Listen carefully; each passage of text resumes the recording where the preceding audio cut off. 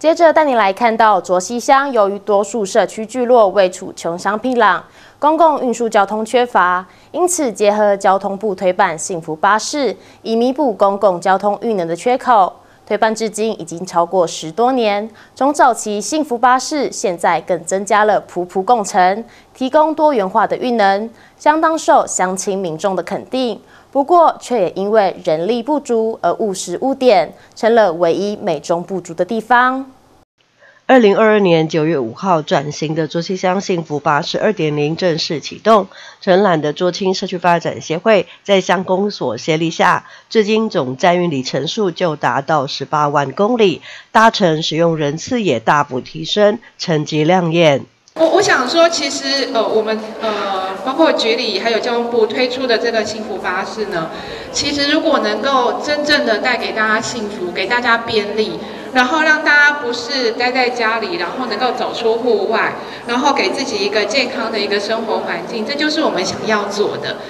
多数社区聚落皆位在缺乏公共交通运输、穷乡僻壤的卓溪乡，乡公所以计划经费百分之五十配合款，争取幸福巴士，并且筛选由卓青社区发展协会承揽推办计划。一年多来，全省唯一客货共载的幸福巴士运作良好，乡公所也期盼在交通部的支持下能持续办理。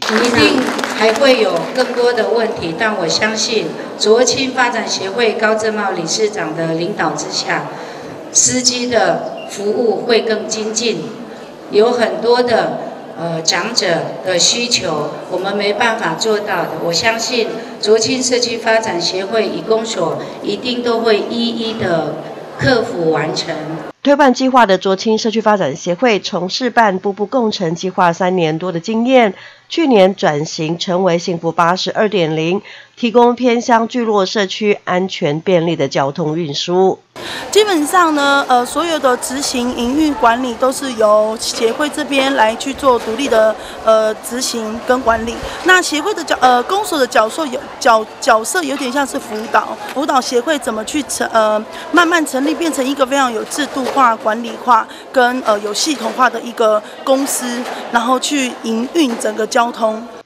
卓溪乡幸福巴士二点零推办一年多，今天也办理成果发表会，与会的乡亲民众以及文件站也都到场分享这一份幸福的交通运输服务。有一点就是他们可能人力不够，所以以至于说我们的需求他们会调度的有一些些。